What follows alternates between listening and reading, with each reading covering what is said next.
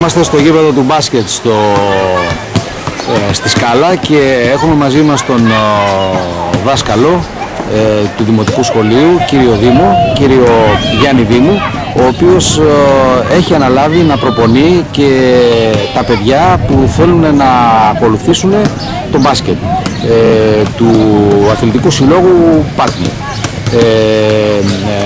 Ε, ε, Γιάννη, αυτό που θέλω να ρωτήσω είναι αν είσαι ικανοποιημένος καταρχήν εσύ από την προσέλευση των παιδιών. Ε, με το που βγάλαμε την ανακοίνωση για να δημιουργηθεί το τμήμα μπάσκετ του, του ΑΣ Ξάνθος, ε, είδαμε μεγάλη ανταπόκριση. Αυτή τη στιγμή ούτε λίγο ούτε πολύ γυμνάζονται γύρω στα 67, περίπου 70 παιδάκια στα τμήματα Ακαδημίας. Έχουμε τμήματα όλων των ηλικιών, μίνι, παμπέδες, παιδικό, κορασίδων, νεανίδων. Προσπαθούμε να κατατάξουμε τα παιδιά ανάλογα με το επίπεδό τους και να τα γυμνάσουμε κατάλληλα. Ε, είμαι πολύ ευχαριστημένος και πιστεύω ότι θα μπει μια βάση ούτως ώστε τα επόμενα χρόνια το γήπεδο και τα γήπεδα του μπάσκετ στην Πάτμου να είναι γεμάτα. Ε, θέλω...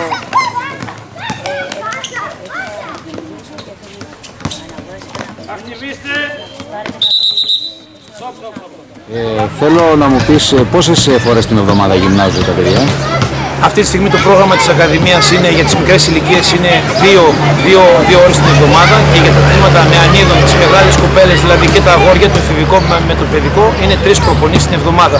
Όμως, σε λίγο καιρό θα προχωρήσουμε και σε εξατομικευμένες ε, προπονήσεις, δηλαδή ατομικές προπονήσεις με σκοπό τη βελτίωση των αθλητών.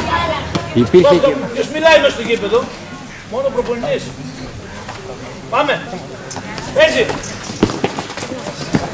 Κάνε τρίπλα, κάνε τριπλάκι. οι οποίες είχαν προσπαθήσει να κάνουν κάτι, αυτό βοήθησε. Βεβαίως πάρα πολύ. Η Μαρία και η Ειρήνη ήταν, είναι δύο συνάδελφοι. Άλλωστε δουλεύουμε μαζί σαν προπονητικό team. Έκαναν μια πολύ καλή δουλειά. Δυόμιση χρόνια, κοντά τρία χρόνια. Γύμνασαν ειδικά τα κορίτσια και τις ακαδημίες. Τα κορίτσια έχουν παίξει φιλικά, ε, φιλικά φιλικού αγώνες με γειτονικά νησιά. Ε, έχουν ένα αξιόλογο επίπεδο και μαζί θα προσπαθήσουμε να βάλουμε μια βάση ούτως ώστε να κατεβούμε αν είναι δυνατόν και στην τοπική, στην τοπική ε, ένωση ε, ΕΟΚ Δωδεκανήσου με αγώνες.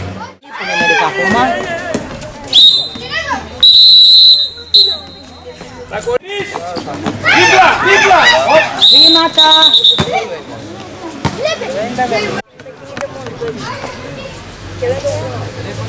Παίζει!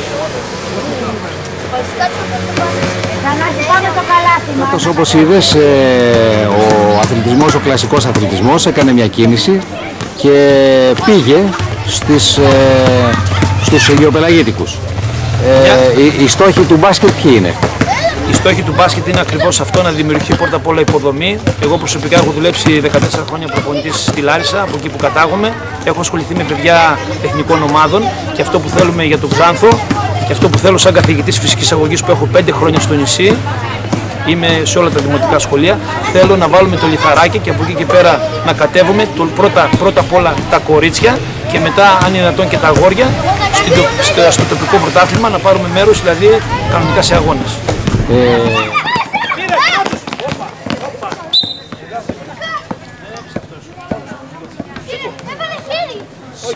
θέλουμε να πιστεύουμε ότι αυτό θα συνεχιστεί, ε, θα γίνει πολύ καλύτερο όπως μας είπες από ό,τι είναι και θα τα ξαναπούμε σύντομα.